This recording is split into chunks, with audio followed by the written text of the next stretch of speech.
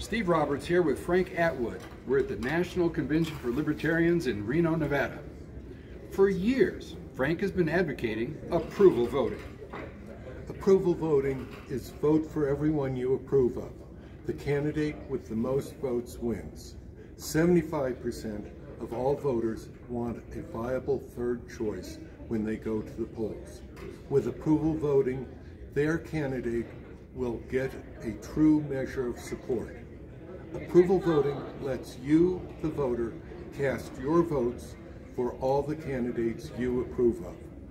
With approval voting, if there is one lemon, one sour, distasteful candidate, you can simply cast a vote for all the others if you choose. It's like giving voters an upgrade, Frank, like the upgrade we need for our public education system.